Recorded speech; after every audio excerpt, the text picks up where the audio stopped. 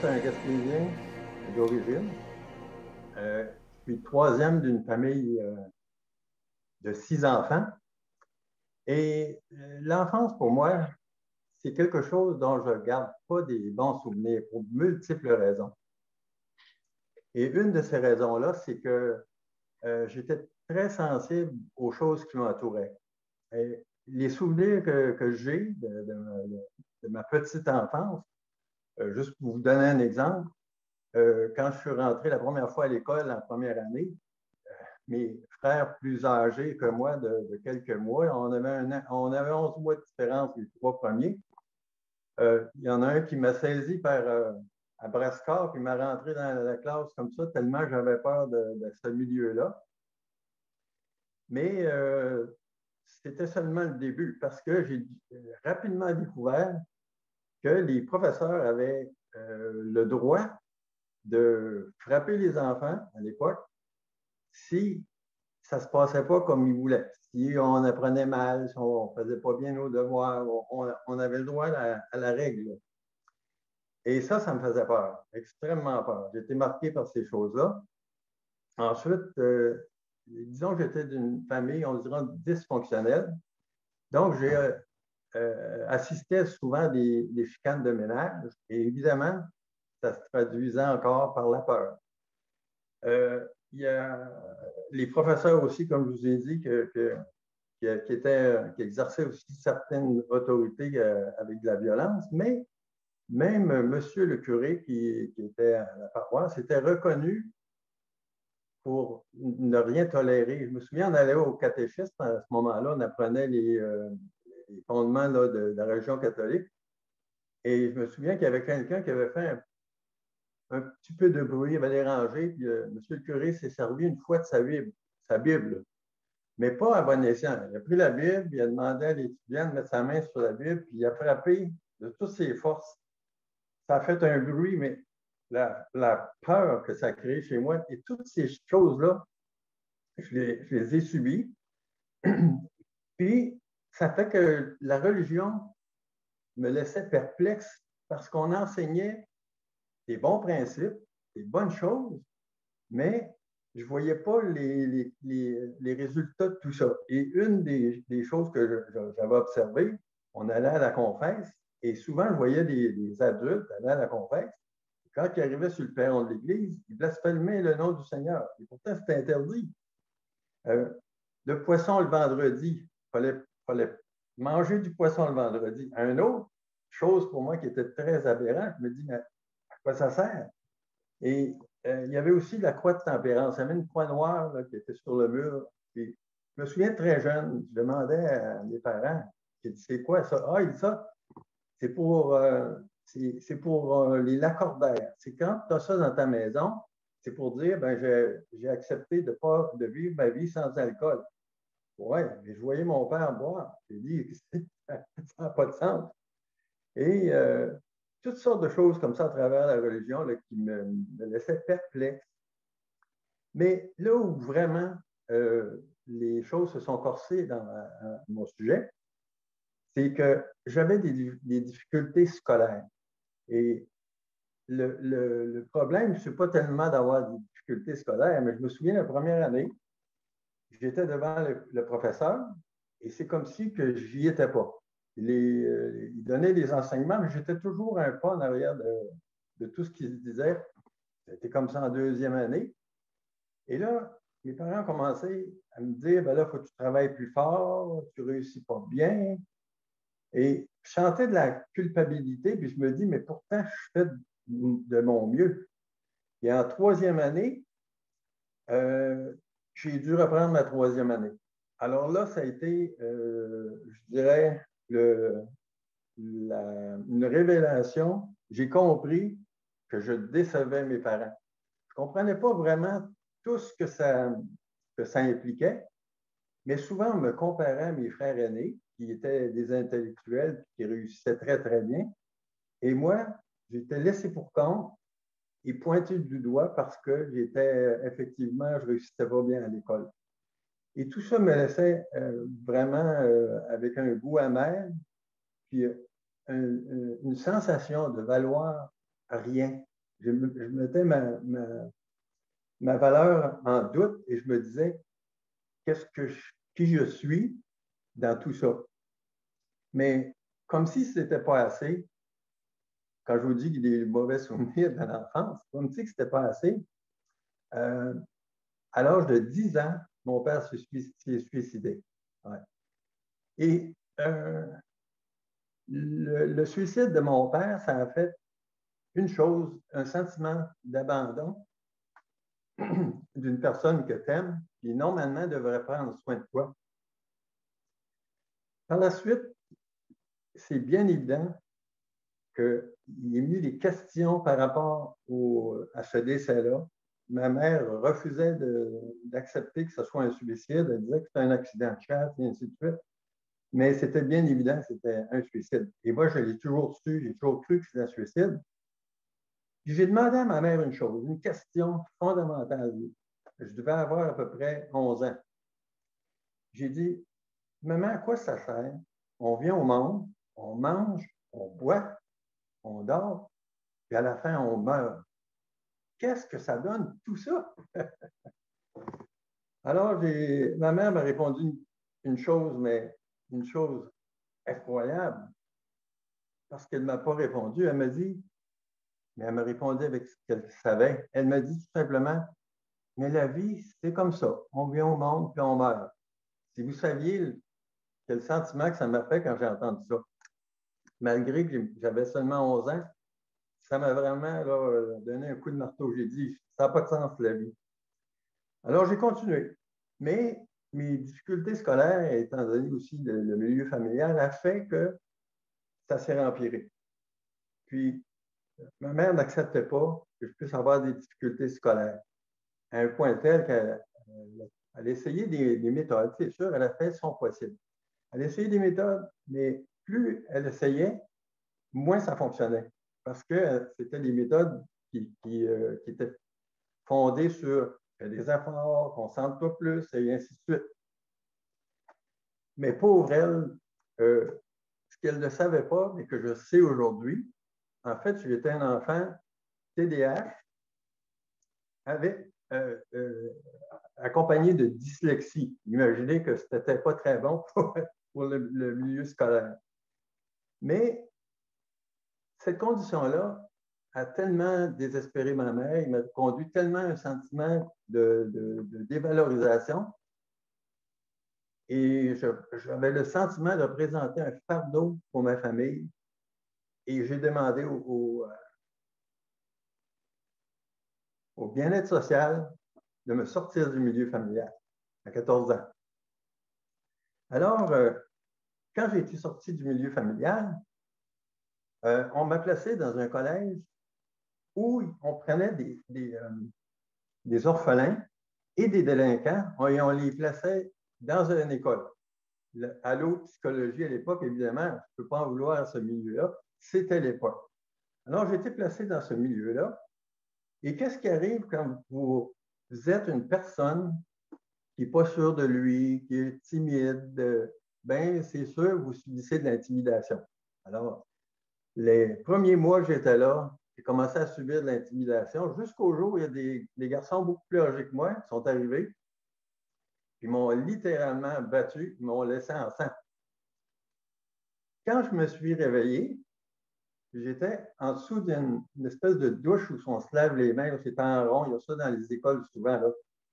Il y avait quatre gars qui me tenaient, puis ils me passaient la tête en dessous du, euh, pour m'enlever le sang que j'avais dans le visage. Mais savez-vous quoi? Quand je me suis réveillé, il y a quelque chose qui est allumé en moi. J'ai dit, ces gens-là, ils ont perçu ma faiblesse et ma vulnérabilité et ils s'en prennent à moi pour ça. Alors moi, j'ai dans ma tête, ça a fait plus jamais personne ne va savoir parce que je croyais que j'étais déficient intellectuel à l'époque, parce qu'on me l'avait dit, on me l'avait fait sentir. J'ai dit à partir de maintenant, je ne serai plus un déficit intellectuel, je vais être très perspicace. Alors, je me suis pratiqué, j'observais les gens autour de moi, puis j'écoutais la manière qu'ils répondaient, j'ai commencé à pratiquer ça. Puis à un moment donné, je suis devenu comme un expert de, la réponse.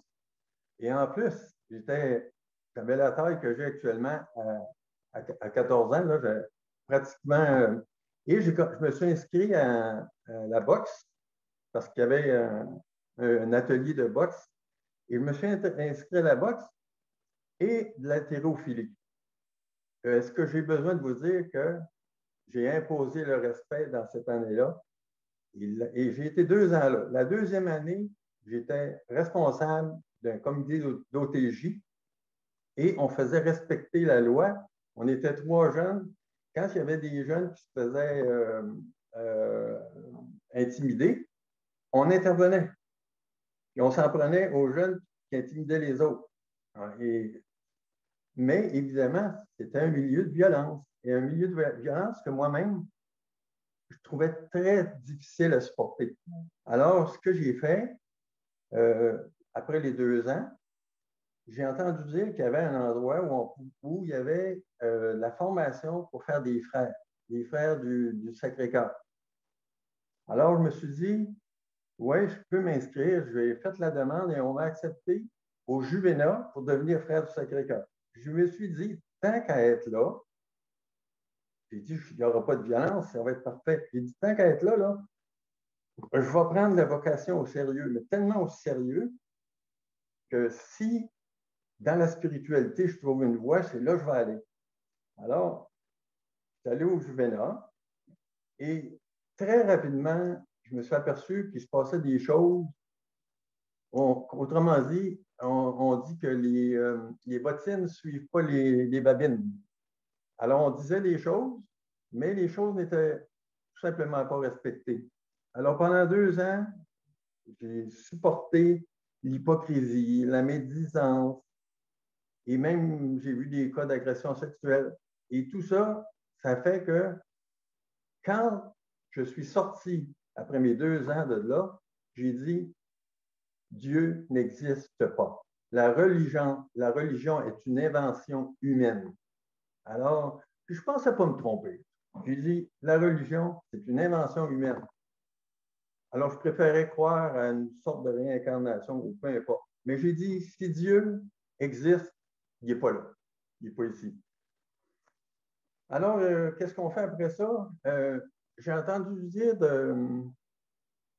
d'une personne que si sa vie était à refaire, c'est une personne à l'époque qui devait avoir 50 ans, là, un vieux, 50 ans. Alors, euh, moi, c'est sûr, j'en avais 19. Il dit, moi, si ma vie était à refaire, je serais frigoriste. c'est un métier d'avenir. Il dit, tu gagnes de l'argent puis tu peux être prospère. Oh là là, ça n'a pas tombé dans l'oreille d'un saut. Moi qui croyais être déficient, intellectuel, ben, j'ai dit, si je réussis, je puis je montre à tout le monde que, je ne suis pas déficient, mais même si je le croyais, j'ai dit, euh, à ce moment-là, si je réussis, au moins je vais réussir ma vie. Mais j'avais des, des, bons objectifs. Alors, je me suis allé voir l'orienteur. L'orienteur m'a dit, Oh, tes notes ne sont pas très bonnes. Moi, à ta place, je penserais à un autre métier. Un autre métier. Ben, j'ai dit, je vais être frigoriste. Fait m'a laissé quand même les cinq adresses où le cours était donné au Québec. J'ai envoyé des lettres aux cinq écoles. J'ai attendu tout l'été.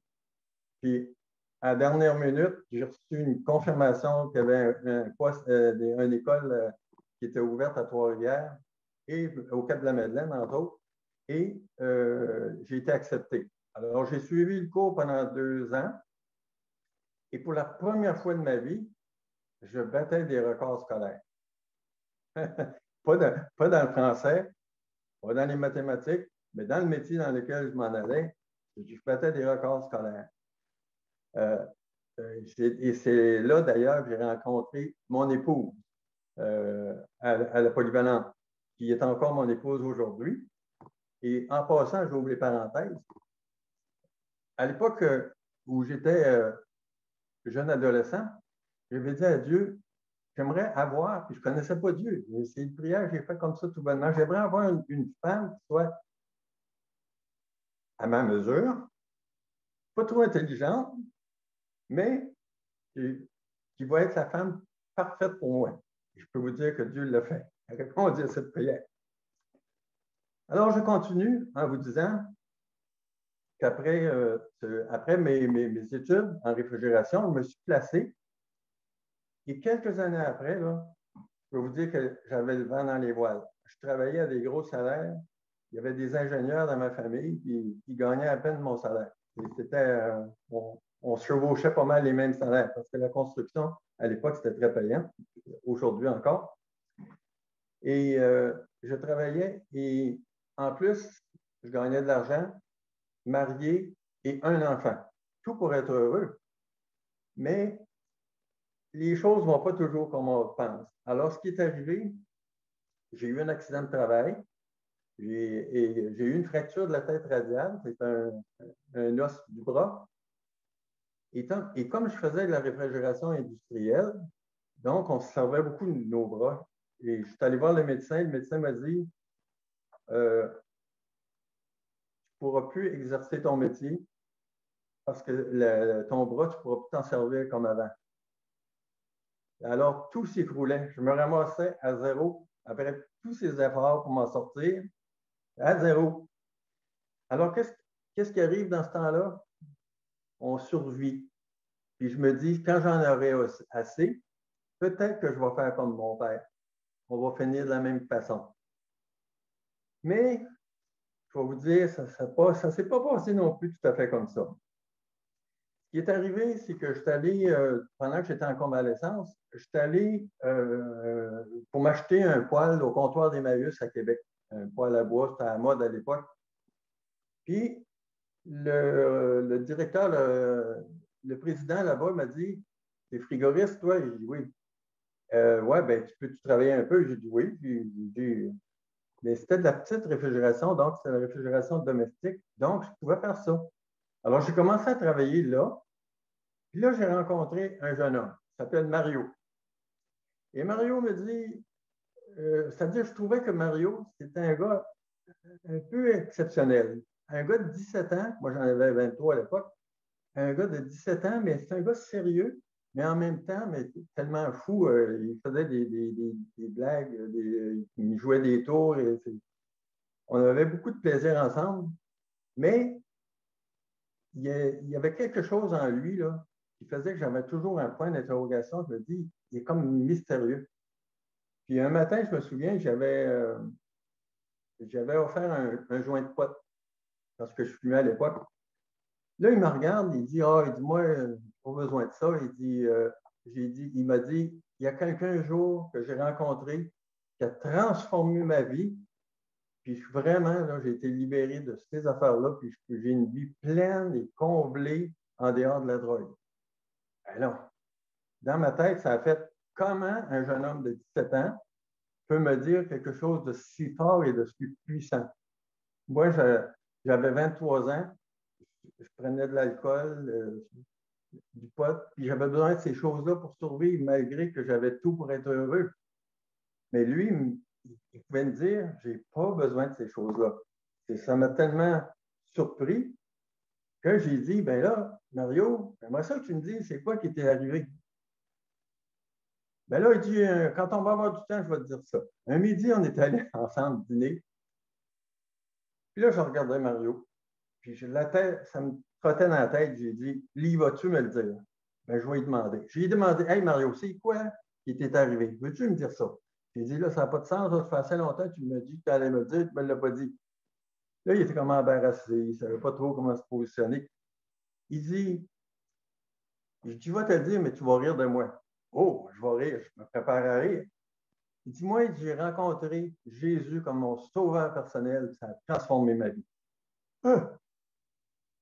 Si vous saviez l'effet que ça m'a fait, j'ai dit non, pas de la religion, mais j'ai dit, ça a l'air tellement vrai. Il m'a conté un petit peu son, histoire. Puis euh, là, je voulais en savoir plus. Il m'a dit, il dit, Claude, tu sais, moi, je ne suis pas très bon pour, euh, pour présenter l'Évangile comme il faut. Il dit, je vais te présenter mon père. Ah! Et ton père, il dit, quoi ça, lui? Il dit, oui, oui, oui. Il dit, je vais te le présenter. Il dit, tu vois, il, en sait plus que moi, il est pas mal habile. Ah, OK, c'est correct. J'ai dit, je, je vais le voir. Alors, c'est une bonne journée, je vois son père arriver au comptoir d'Emmaüs. Il rentre. avec une Bible dans la main. Puis, je le trouvais comique. Ça, ça avait l'air d'un gars sympathique, tout ça. Fait que là, la première question qu'il me demande, as-tu déjà lu la Bible? Ben oui, j'ai lu la Bible. Il dit, d'après toi, quel est le message le plus important qu'il y a dans la Bible? Euh, le message le plus important, j'ai dit, selon moi, c'est aimez-vous les uns les autres. Il n'y a pas plus important que ça, l'amour. Mais dans ma tête, ça faisait, ouais, on sait qu'il faut s'aimer, mais on saillit tout. pour moi, c'était de la religion. Ah, il dit, c'est pas le message le plus important. Il me dit, regarde, la Bible, là, d'un couvert du début à, la fin. Il dit, la Bible nous parle d'un salut pour l'éternité, puis il ça, il dit, il faut avoir ça pendant notre vivant, parce qu'après ça, il est trop tard. Ouf! Mais là, je me suis rappelé, quand il a dit ça, je me suis rappelé d'une chose. Je me suis rappelé, j'ai dit à ma mère, à mes 10 ans, j'ai dit, maman, qu'est-ce que ça donne de venir au monde, manger, boire et mourir? Mais là, là, il, venait de toucher exactement la réponse à la question que je m'étais demandée. Oui, il m'a dit, on vient au monde pour éventuellement recevoir le salut pour l'éternité, pour être en présence de Dieu. Alors là, là, moi qui étais très méfiant, mais très méfiant, j'ai dit, je pense que je vais donner une chance. Mais je n'étais pas sûr. Mais là, il s'est passé un événement assez spécial. Euh, il faut oublier un verset dans la Bible, c'est 1 Jean 5, 3. Alors, si je prends 1 Jean 5, le verset 3, euh, c'est-à-dire 13, excusez-moi. C'est que moi, quand il me dit euh, faut être sauvé sur la terre, puis après ça, il est trop tard, ah ben là, j'ai dit, il n'y a personne qui peut savoir ça. Il n'y a personne qui peut savoir d'avance où ce qui va. C'est seulement le jour où on va se présenter devant Dieu, du moins la compréhension que j'en avais, c'était ça. Le jour où tu vas te présenter devant Dieu, c'est tu t'en vas en enfer, ou tu t'en vas au purgatoire, ou tu t'en vas au ciel. Wow! Non, non, il lui dit, c'est pas ça. Il dit, la Bible ne parle pas de purgatoire, elle parle du ciel, elle parle de l'enfer. Tu vas à une place ou avec, avec l'autre. Il dit, faut que tu le saches avant de mourir, parce qu'après ça, il est trop tard. Après ça, c'est pour être jugé. Ben, j'ai dit, tu as pris ça où? Alors, il me donne le verset 1 Jean 5, 13. Il dit, je vous écris ces choses afin que vous sachiez que vous avez la vie éternelle, vous qui croyez au nom du Fils de Dieu. Wow! C'était pas écrit, euh, je, vous écris ces choses afin que vous allez savoir quand vous allez mourir si vous allez euh, aller au ciel. Non, non. Il dit que vous sachiez maintenant que vous avez la vie éternelle, mais la condition que vous croyez. J'ai dit, il y a du monde comme ça qui peut le savoir. Il dit, oui. Mais j'ai dit, comment ça se fait qu'il y a juste toi et Mario qui c'était ça? Ça? Fait que, il s'est passé, je vous dirais, un miracle cette fois-là. Une intervention divine, certain. Il est arrivé une autre personne qui est rentré au comptoir d'Emmaüs, puis euh, Camille, le père de Mario, a pointé cette personne-là, puis a dit, ben demande-y à lui. Ben quoi, tu veux que je lui demande quoi, là? Ben, demande s'il est sauvé. Ben, j'ai demandé. Ben, j'ai, dit, il s'appelait Jean. J'ai dit, Jean, euh, es sauvé, toi? Il me regarde, il dit oui, puis il me donne la date, puis le jour. Ben, j'ai dit, voyons, ça se peut presque pas. Quelques minutes après, il y a une dame qui arrive dans la salle où on était, au comptoir d'Emmaüs, dans le milieu de nulle part, il met, elle rentre, ah, ben tiens, demandez donc à elle. Ben, madame, êtes-vous sauvée, vous? Elle dit oui, oui, moi j'ai été sauvée de telle date, c'était le plus beau jour de ma vie.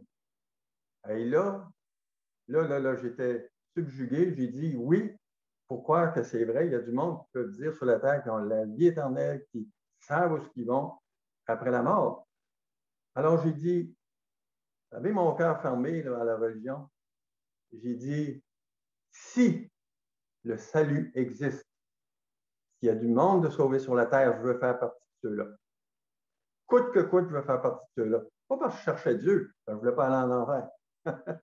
c'est comme ça. Alors, euh, euh, je me souviens que Camille est venu me voir très souvent.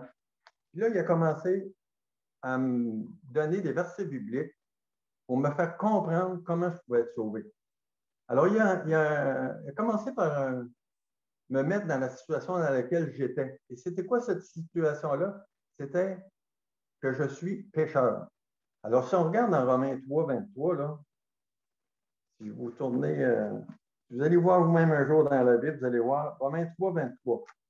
Euh, car tous ont péché et sont privés de la gloire de Dieu. Puis si vous regardez dans Romains au début, là, il dit que nous sommes tous pécheurs, tous pervertis. il n'y a aucun qui fasse le bien. Comme il dit ici, nous sommes, il dit, car tous ont péché et sont privés de la gloire de Dieu. Alors le péché nous prive, nous sépare de la gloire de Dieu. Et la raison est très simple. Il m'a expliqué si, tu te présentes là, dans, comme tu es là actuellement, je travaillais dans un milieu où j'avais les mains sales, j'avais mon des vêtements qui n'étaient pas propres. Si tu te présentes dans une salle de mariage, vas-tu aller te présenter devant la mariée avec sa belle robe blanche? Ben, j'ai dit non, en plus, je n'y toucherai pas, je ne veux pas salir. Mais il dit Dieu, là, c'est un peu comme ça. C'est un être saint, pur, irréprochable. Et pour rentrer dans sa présence, il dit il faut que tu sois de cette nature-là. Il faut que tu sois pur comme lui. Ouais, ça fait du sens, mais il dit je suis loin de ça. Alors, c'est ce qu'il m'a dit. Il dit c'est pour ça que tu as besoin d'un salut. Alors, par la suite, il m'a montré un, un, autre passage, ou enfin, il m'en a montré plusieurs, mais entre autres, celui-là m'avait touché pas mal. Si on va voir dans Jean 3, 18. Alors, c'est un autre verset biblique.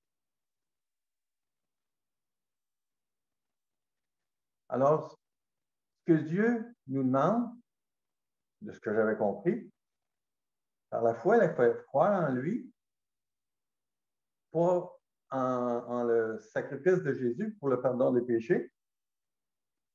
Puis, il ne fallait pas être jugé fallait se présenter devant Dieu pur. Alors, je, lis le passage, il dit, Celui qui croit en lui n'est point jugé, mais celui qui ne croit pas est déjà jugé parce qu'il n'a pas cru au nom du Fils unique de Dieu.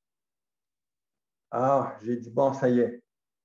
Ça y est, je comprends un peu, là, il faut, croire. Mais dans ma tête, c'était clair. Je croyais depuis que j'étais euh, enfant, m'avait enseigné que le Christ était mort sur la croix pour nous sauver de nos péchés. Ça ne me sauvait pas. Je n'avais pas la certitude de la vie éternelle. J'ai dit, il y a quelque chose là, que je n'arrive pas à comprendre. Et là, il a pris un autre verset, il dit, ben garde, je vais essayer de t'aider à comprendre. Il dit, le Seigneur Jésus l'a expliqué. Il dit, il faut naître de nouveau. Oui, faut naître de nouveau. Bon. Puis il dit, pour naître de nouveau, ben, il dit, il faut se, repentir d'abord. La repentance. Bon, une autre affaire. Bon, j'ai dit, euh, où tu vois ça dans la Bible? On va aller Luc 13, 3. En fait, c'est euh, une histoire que s'est passée à l'époque du, Seigneur euh, Jésus. Il y avait eu des, des, sacrifices là, euh, des Galiléens qui avaient été euh, mis à mort avec les sacrifices qu'eux faisaient. Puis ça, c'était sous l'empire de, Pilate. C'est Pilate qui avait fait ce sacrifice-là. Puis les Juifs ont demandé au Seigneur, mais ces Galiléens-là, ils avaient-tu péché plus que les autres pour mériter un tel sort?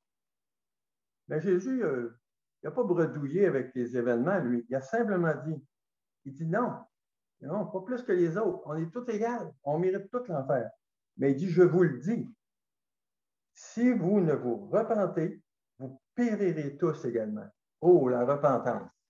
Quand il m'a parlé de repentance, j'ai demandé c'est quoi se repentir? Il m'a dit, c'est pas compliqué. La repentance, là, c'est de faire demi-tour. On va dans une direction et cette direction-là, c'est notre vie de pécheur, c'est notre vie sans Dieu. Et ce que Dieu nous demande, c'est de s'arrêter et, se positionner devant Dieu et dire Dieu, je suis prêt à tout laisser ma vie, je suis tout abandonné pour toi, puis accepter que tu transformes ma vie. La repentance, c'est faire un demi-tour. On s'en va à l'opposé de Dieu, on se tourne vers Dieu. Et ça aussi, ça a été pas mal clair quand il me l'a dit. Et là, ensuite, il a parlé de, la nouvelle naissance. Il dit, ton salut, là, tu vas avoir cette certitude-là le jour où tu vas naître de nouveau. Alors, dans Jean 3, 16, on lit, car Dieu a tant aimé le monde qu'il a donné son Fils unique, afin que qui croit en lui ait la vie éternelle et ne périsse point. Et il, expliquait à Nicodème exactement, si vous regardez le contexte, comment naître de nouveau. Alors, moi, je me suis dit, ouais, je n'ai pas à faire de quoi de spécial. Je, connaissais le plan du salut par cœur, il me l'avait récité à plusieurs reprises, mais j'ai dit maintenant, comment ça se fait que je ne suis pas sauvé? Une fois, Camille est venu, il m'a dit, ben, il dit, il dit, je vais te lire un verset. Il dit, c'est par grâce, Éphésiens 2.8 nous dit, c'est par grâce que vous êtes sauvés par le moyen de la foi et cela ne vient pas de vous, c'est un don de Dieu. Ah là là, j'ai dit, c'est un don de Dieu, sauvé par la grâce. Donc, je ne peux rien faire pour mon salut. Il dit non. Mais il dit, pourquoi je sais toutes ces choses-là que ça ne me sauve pas? Parce qu'il dit, Dieu, c'est lui qui va te révéler le salut. Moi, il dit, tout ce que je fais, je te présente l'Évangile. C'est en toi et Dieu. Euh, tu sais quoi faire maintenant? Tu sais comment on vient, on vient au salut? Je dis oui. Mais il dit maintenant, moi, je ne peux plus rien faire pour toi. C'est Dieu qui, va gérer ça. Puis je me souviens, c'était la dernière, il m'a dit ça, la dernière journée que je travaillais au comptoir des muscles, puis j'étais sûr que jamais j'allais le revoir. Alors, ce qui est arrivé, cet après-midi-là, je me souviens, je n'ai pas fait une grosse après-midi de travail, mais je me suis mis à genoux, j'ai prié Dieu, j'ai dit, je ne veux pas quitter le comptoir d'Emmaüs aujourd'hui si je ne suis pas sauvé. La journée a passé. Je n'ai pas, pas saisi le salut. Je ne savais pas quoi faire plus. J'ai embarqué mes outils dans l'auto me disant c'est la dernière fois, j'aurais peut-être plus Camille, on ne sait pas. Et je me rappelle que quand j'ai monté dans la voiture, j'ai tourné le coin de rue, je pensais à tout ça. Puis il m'a venu un verset à l'esprit, celui qui croit en moi a la vie éternelle, il ne devient point un jugement. Et j'ai dit, c'est vrai, Seigneur. Je mets ma foi en toi, je crois, je... et j'ai compris à ce moment-là le salut que j'étais sauvé pour l'éternité sur la base de ce que la Bible me disait. Et je ne veux pas vous dire la joie que j'ai eue à ce moment-là. J'ai été inondé de, de, joie parce que j'ai dit, enfin, j'ai ce que j'ai toujours cherché, le pourquoi de cette vie dans ce monde qui me semblait tellement vain et inutile. Euh, par la suite, euh, c'est sûr, je suis chez moi, mon épouse euh, qui avait entendu parler de l'Évangile, elle me regarde. Et savez-vous qu'est-ce qu'elle m'a dit? Elle avait juste entendu parler de l'Évangile, elle me dit, ben, t'es sauvé. J'ai dit oui. Elle l'a vu dans, mes yeux. Et je vous dirais, c'est euh, pas longtemps après, elle, aussi nos Seigneur. Et évidemment, quand on vient au Seigneur, on, on, est, on est dans la joie et il n'y a rien qui, nous empêche, mais Dieu nous sauve tel qu'on est. Et après ça, il faut que Dieu intervienne dans nos vies pour nous transformer. Et ça, à ce moment-là, je n'avais comme pas vraiment compris ça. Au contraire, moi, j'avais appris que si tu veux être aimé, ben, il faut que tu fasses, face face des choses. Alors, quand je suis venu au Seigneur, je me suis, euh, j'ai pris tout l'alcool que j'avais, les, les, drogues, j'ai tout jeté ça d'évidence. J'ai dit, fini, je me suis joint à une église locale j'étais dans la chorale, j'étais dans le, À un moment donné, j'étais diacre, j'étais euh, dans plusieurs sphères de l'Église. Je faisais du porte-à-porte. J'étais père de famille. Et euh, Dieu, sachant, euh, me voyait aller, me voyait aller. Puis, je vous dirais, il y a quelque chose que je ne savais pas à l'époque, mais que je sais très bien aujourd'hui. Mais Dieu voyait aller, mais il voulait plus que ça de ma vie. Il voulait plus qu'un gars qui, court d'un bord puis de l'autre pour, euh, pour. Je me sentais aimé de Dieu. Pourquoi? Parce qu'il m'avait sauvé, mais à plus forte raison parce que je faisais ce qu'un chrétien devait faire dans sa vie chrétienne. Et ça, savez-vous quoi? C'est vraiment une tare. C'est une erreur, c'est un mensonge que je nourrissais. Parce que Dieu, par-dessus toute chose, ce qu'il veut, c'est une relation personnelle avec lui. Il veut qu'on dépende de lui. Et tout, je réalise aujourd'hui qu'à cette époque-là, si j'étais si impliqué et que si j'étais euh, euh, un chrétien si emballé, tout ça, c'est parce que je voulais être aimé de Dieu, parce que je n'avais pas été aimé inconditionnellement de mes parents. Et Dieu, pour me ramener, il y a juste, vous savez, là, il y avait trois points. L'amour inconditionnel, euh, le fait que je croyais que j'étais déficient, je le croyais encore, et le, rôle que je jouais pour montrer à tout le monde que je n'étais pas déficient, tout ça, c'était un mensonge. Et Dieu savait ces choses-là. Et il y a seulement Dieu qui pouvait réparer tout ça. J'aurais pu passer ma vie de croyant comme ça, mais Dieu ne voulait pas ça. Dieu est un Dieu, c'est ça que je suis en train de vous dire. Dieu est un Dieu personnel. Il, désire ardemment qu'on le rencontre. Alors, pour ce faire, Dieu a permis une chose. Euh, j'avais un péché dans ma vie que je résistais depuis que j'étais euh, croyant. Et ce que Dieu a fait tout simplement, il me laisse aller. Ah, tu veux, vivre ta vie chrétienne par ta force, par ta, chair, là? On te laisser aller. Ben, j'ai tombé dans un péché. Et quand c'est arrivé, là, savez-vous quoi? J'ai été dévasté. Je me sentais un peu comme Pierre qui avait trahi le Seigneur Jésus quand le Seigneur, euh, quand le Seigneur lui avait dit Pierre, tu vas me renier trois fois. Mais je me sentais exactement comme ça. Mais Dieu n'avait pas fini avec moi. Comme il a visité Pierre, ben, un jour, Dieu m'a visité de cette façon-là.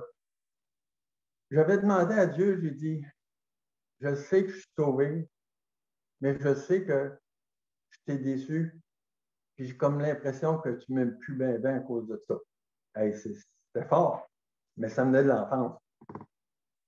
Et j'ai demandé à Dieu, dans, une circonstance très précise, je ne vous demande pas de faire ça, mais dans une circonstance très précise, j'aimerais que tu J'aimerais que tu me convainques de ça là, en répondant à la prière que je viens de te faire. Et savez-vous quoi? Dieu a répondu à cette prière-là. Cette journée-là, j'ai eu la conviction et la certitude d'un amour inconditionnel de la part de Dieu. Aujourd'hui, c'est différent. Cette certitude-là, je le sais d'où elle vient. Elle vient du fait unique que Christ a payé mon salut sur la croix. Et c'est ça qui est important. Mais moi, j'avais besoin d'un événement autre où Dieu m'a convaincu de ça. Mais ça, ça a fait que je suis allé aussi en thérapie parce que le, problème de déficience puis de, super, de, super performance que je faisais, ça venait de là. Euh, j'ai passé un, test psychologique et euh, un test de QI à l'époque. Et le, test s'est révélé comme, ayant une, une, intelligence au-dessus de la moyenne. Que ça a fait, là, savez-vous quoi? Ça, c'était nécessaire dans ma, vie de croyant. Parce que ça a fait, ça a enlevé le mensonge. J'avais plus besoin, après ça, d'entretenir l'image du gars qui, est sûr de lui, qui, euh, euh, qui, se sent intelligent parce qu'il se sent déficient, là, ça, c'était fini. Et petit à petit, la transformation commençait à se faire. de moins en moins, j'étais porté à, à, mentir, mais d'être moi-même. Et progressivement, au cours de ma vie chrétienne, ben, j'ai fini par introduire dans ma vie chrétienne des concepts beaucoup plus bibliques, fondés sur, des, euh, des, réalités bibliques. Et euh, en gros, euh, si vous me demandez aujourd'hui où je suis rendu dans tout ça, ben, je peux vous dire que le fait de connaître Dieu, mais Dieu m'a sauvé pour que je sois à l'image de Christ. Et ça, cette transformation-là, je l'ai vue à travers plusieurs événements dans ma vie, ou des places où j'aurais dû, où, selon ma chair, j'aurais été en colère, mais non, au contraire, j'ai j'ai accueilli des gens avec douceur, tempérance. Non, je ne suis pas parfait, je ne le serai jamais. Mais je peux vous dire une chose, je ne serai jamais dans ce bon monde. Mais je sais que le jour où je vais être en présence de Dieu, je serai semblable à lui, je serai parfait, pur, parce que c'est ce que le sang de Christ m'a procuré. Alors, si vous vous demandez pourquoi je suis ici ce matin, c'est pour ça. C'est pour dire à tout le monde, à tous ceux qui m'entendent, vous avez aussi cette possibilité-là de revêtir l'incorruptibilité, puis de savoir avec assurance qu'un jour vous allez d'être dans la présence de Dieu pour l'éternité.